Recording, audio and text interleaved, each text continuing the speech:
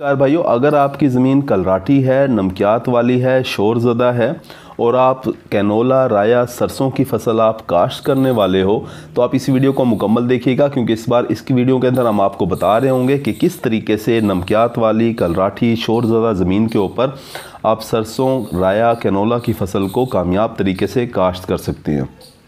काश का भाइयों अगर आपने हमारा चैनल सब्सक्राइब नहीं किया तो चैनल को सब्सक्राइब कर दें, साथ में बेल के बटन को दबा दें, ताकि फ़सलों के मुतालिक हमारे जितनी भी वीडियो होती हैं, वो आपको बर वक्त मिल सकें। काशकार भाइयों, सरसों, राया, कैनोला की फ़सल के लिए बेहतरीन जो ज़मीन होती है, वो तो मैरा ज़मीन होती है। अगर आप मैरा ज़मीन के ऊपर काश्त करोगे तो भरपूर तरीके से आप कैनोला की पैदावार हासिल कर रहे होंगे।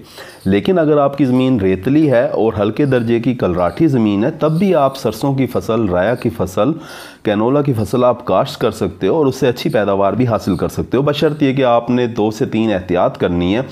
पहला काम जो आपने करना है, क्योंकि एक नमकियात वाली कलराठी ज़मीनों के अंदर बीज का उगाव का मसला होता है। बीज का उगाव जो है वो पूरा नहीं होता, जिसकी वजह से पैदावार काफ़ी ज़्यादा मुतासर हो रही होती है। तो काशकार भाई आपने क्या करना है कि जितना के बीज रिकमेंडेड है, यानी कि जो सिफारिश करदा बीज है, उसकी जो है डबल जो मकदार है, वो आपने ज़मीन में डालनी है। यानी कि दो किलोग्राम जो सरसों का बीज है कैनोला का बीज, दो किलोग्राम फ़ी एकड़ बताया जाता है कि ये आपने काश्त करना है।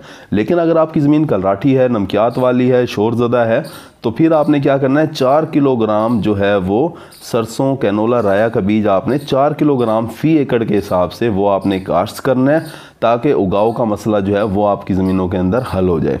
काश्त भी इसके अलावा आप क्या कर सकते हैं? बीज काश्त करने से पहले आप अपने बीज को 12 घंटे के लिए पानी में भिगो लें।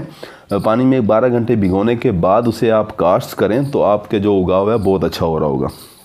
काशकार भाइयों दूसरा काम जो आपने करना है, क्योंकि आपने खादें डालनी होती हैं, तमाम फ़सलों को खादों की ज़रूरत होती है तो आपने जब सरसों, राया, कैनोला के अंदर जो खादों का इस्तेमाल करना है, वो आपने डीएपी यूरिया की बजाय आप ऐसी खादें इस्तेमाल करें जिनकी पीएच कम हो, यानी कि जो तेज़ाबी खादें हैं, उन खादों का इस्तेमाल करें।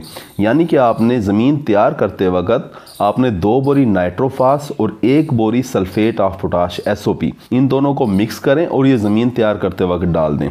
काश भाई, उसके बाद आपने क्या करना है कि पहले पानी के साथ आपने यूरिया की बजाय आपने कैल्शियम अमोनियम नाइट्रेट, जिसे कि कैन गवारा कहा जाता है, वो एक बोरी आप फ़ी एकड़ के हिसाब से वो आप डालोगे और उसके बाद जब आप दूसरा पानी लगा रहे हो और फ़सल आपकी फूल निकाल रही हो तो उस वक़्त आपने क्या करना है कि 8 से 10 किलोग्राम सल्फ़र का इस्तेमाल करना है। उसका सल्फ़र का आपने महलूल तैयार करना है और वो पानी के साथ आपने अपने खेत में अपनी फ़सल को लगा देना है।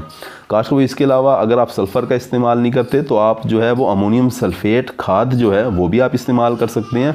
उसके अंदर भी सल्फ़र होता है। एक बोरी अमोनियम सल्फेट खाद के अंदर 12 किलोग्राम सल्फ़र मौजूद होता है। तो अगर आप एक बोरी दूसरे पानी के ऊपर, यानी कि फूल आने के ऊपर अगर आप एक बोरी अमोनियम सल्फेट की अगर आप डालोगे तो उससे आपकी जो सल्फ़र की ज़रूरियात हैं फ़सल के अंदर वो पूरी हो जाएँगी, ना सिर्फ़ सल्फ़र की ज़रूरियात पूरी हो जाएँगी, बल्कि आपकी ज़मीन की सलाह भी हो जाएगी।